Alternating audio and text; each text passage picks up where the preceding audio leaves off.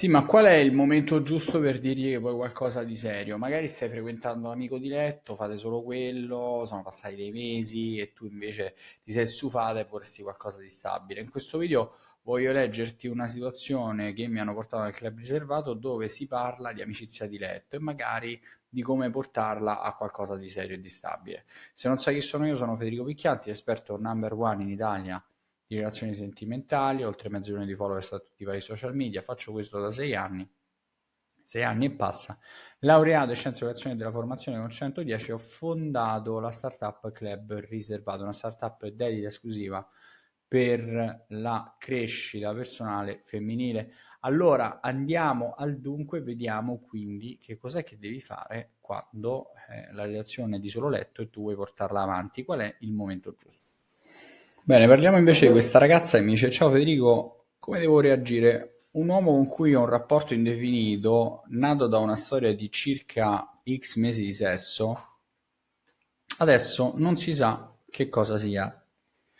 Ti racconto la storia poco sotto. Ci vediamo spesso e parliamo molto. Mi racconta delle sue cose, dei progetti, eccetera. Messaggiamo, ci chiamiamo e non lo facciamo. Aspetta, che questo è bloccato. Che succede? Ok. Um, bene. C'è un'attrazione comunque fra di noi molto alta, confermata anche da lui. Oggi è tornato, eh, dopo un mese di vacanze, mi ha portato delle cose da mangiare che gli avevo chiesto e li ha presi la mia pasticceria preferita. Lo ringraziavo senza troppi fronzoli E non so se domani mandargli un messaggio o una foto mentre ne mangio uno dicendo qualcosa come buonissimi. No. Lui fece una cosa simile con me quando gli feci un altro dolce. Mi ringraziò un paio di volte di persona. Il giorno dopo mi scrisse che era buono. A me questo uomo piace, ma non voglio sbilanciarmi troppo perché lui non prende iniziative.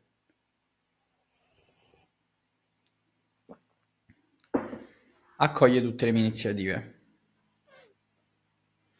Allora, se la tua relazione è una relazione che è iniziata solo con quello, quindi facendo solo quello e voi facevate solo quello, vi vedevate per quello, eccetera, e adesso eh, hai paura che non si sa che cosa sia, te lo dico io che cos'è, è una relazione di solo sesso. Okay? Non è che se lui ti chiama, parla e ti racconta i suoi progetti, allora non vuole fare solo sesso, ma potrebbe anche vederti come un'amica con la quale portare avanti una dinamica sentimentale di frequentazione eh, random, quella che sia, senza doversi preoccupare di darti le attenzioni da fidanzati. Ok?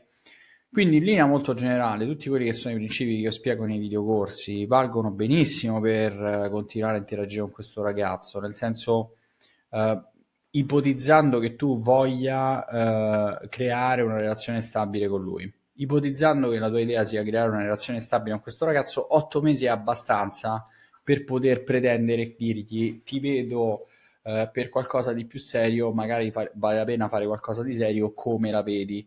Cioè è idoneo dire una cosa del genere dopo otto mesi, ok? Quindi non è sbagliato. Quello che penso invece che sia sbagliato è sicuramente eh, rimanere all'interno di una relazione di solo sesso, quindi solo per quello, e pensare che questa possa evolversi così da dal nulla, cosa che non accadrà tutto quello che eh, puoi fare con lui, il comunicare, il parlare, mandarvi messaggi, eccetera, puoi continuare a farlo. L'importante è che sai che cosa fare.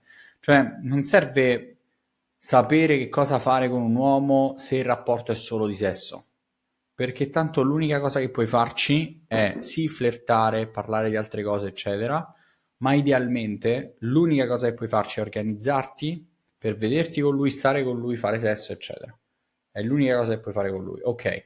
Detto questo, e ammesso il fatto che tu faccia sesso con lui e basta, e che ti vada bene così, perché vuoi fare altro? Non vuoi fare altre cose, cioè non vuoi, non vuoi, non vuoi preoccuparti di come interagire con lui. Perché se con un uomo fai solo quello, l'unica cosa che ti serve è usare il telefono per organizzarvi, vedervi, fare sexting o vedervi solo per quello. Stop. Se ti racconta dei suoi progetti o altro, puoi assecondare il fatto che ti racconta queste cose, ridurre la frequenza di messaggi che gli mandi e lasciarlo sempre come seconda, terza opzione di chat. Se invece cerchi relazioni stabili e stai cercando magari frequentando altri uomini, Sicuramente frequentare altri uomini è una soluzione migliore, certo. E lui lo lascia in secondo piano.